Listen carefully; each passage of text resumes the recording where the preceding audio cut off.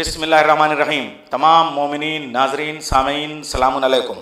پوری دنیا میں اگر امن کا محور اور مرکز کوئی ذات ہے تو ہمارے پیغمبر کی ذات، جو خلق اول خلق اول خلق اول، حیات اول، ذات اول، جسم اول کے طور پر اس دنیا میں تشریف لے آئے اور دنیا کو امن و امان سے بھر دیا۔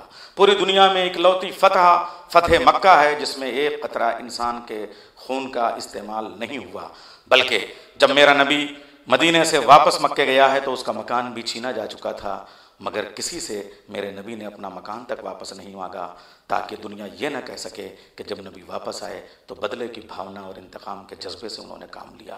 ایسا رسول دنیا میں تشریف لے آیا کہ جوش ملی آبادی کو کہنا پڑا۔ نو انسان کو دیا کس فلسفی نے یہ پیام؟ مرد غازی کا کفن ہے خلط عمر دوام۔ نصب کس نے کر دیے مقتل میں حوروں کے خیام؟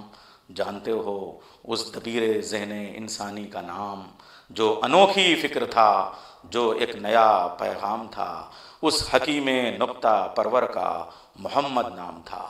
اس محمد کے فرزند کے طور پہ اس دنیا میں اسی ہرا والے غار کے پاس سے زہرا کی اگنائی سے ایک چاند جمعہ کے دن صبح کو صبح تشریف لے آیا، جس کا نام حسین ابن علی ہے۔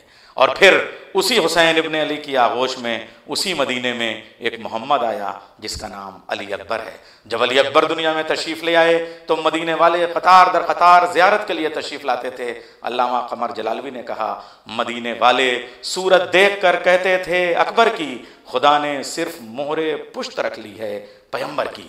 یا پھر لکھنؤ کے سرزمین سے حضرت سالک لکھنوی نے کہا، درود پڑھ، رخ اکبر کو دیکھنے والے رسول پاک کی چڑھتی ہوئی جوانی ہے۔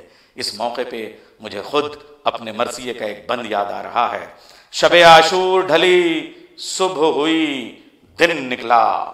شور ناقوس ہوا، گنگ موزن نکلا۔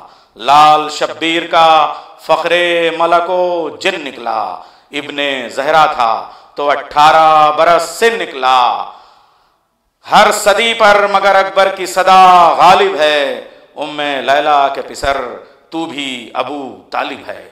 آئیے اس علی اکبر کو جو جاگیردار کربلا ہے۔ امام حسین نے جس کے نام کربلا کی سرزمین کا بینامہ کرایا اور پھر بنو اسد کو ہبا کیا، اس کو پروانوار خراج عقیدت پیش کرنے کے لیے چودہ سو اکتالیس کی پانچ شابان یعنی دو ہزار بیس کی پانچ شابان کو بین الحرمین جشن زمیندار کربلا میں شرکت کرنے کے لیے چلیں یہ جشن سلونی انٹرنیشنل ٹرسٹ کی جانب سے نہایت اس کو احتشام کے ساتھ ہر سال منعقد ہوتا ہے اور میڈیا پارٹنر کی حیثیت سے جناب ابوذر کنتوری گراف ایجنسی کے کیمرے کے ذریعے سے اس جشن کو پوری دنیا میں پیش کرتے ہیں۔ آئیے، اسی کیمرے کے ذریعے سے ہم اس پیغام پہ لبیک کہتے ہوئے کربلا پہنچیں اور اسی کیمرے کے ذریعے سے ہماری تصویریں، ہمارا پیغام، ہمارا جشن پوری دنیا میں عام ہو۔ شکریہ وسلام اللہ صلی علی محمد و آل محمد۔